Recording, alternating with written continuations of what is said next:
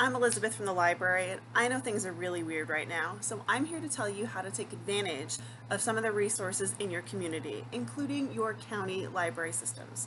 If you're a resident of San Bernardino or Los Angeles County, you are able to get an e-card from those library systems, which will allow you to have access to those libraries' digital collections, including streaming media, like movies and TV, ebooks, audiobooks, and free music.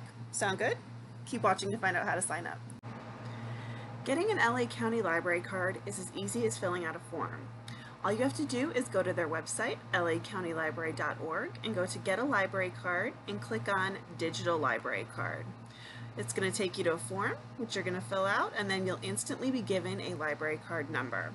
And with that library card number, you can access the library's full collection of digital resources, including audio and ebooks, movies and TV, and music.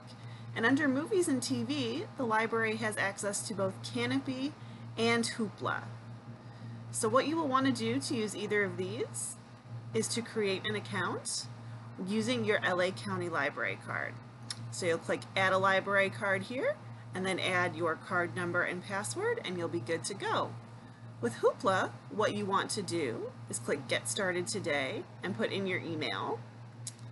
So I'm just putting in a generic password here. Click Agree. Then you're going to pick the library that you are using, which in this case is Los Angeles County Library. Scroll down here to find it, here in Downey. Perfect. I'm going to click Next. And then I'm just going to enter in my library card number and click Sign Me Up. It's that easy. If you live in San Bernardino County, you are able to get a San Bernardino County library card. And again, it's just as easy as filling out a form. You're going to go to their website, sbclib.org, and click on this link right here that says Get a Library Card. Then you're going to go ahead and fill out this form. You're going to select your home library, put in your postal code and fill out the form. And that's going to give you access to their digital library, which includes Overdrive, Overdrive for kids and for teens, as well as things like Freegal and RB Digital.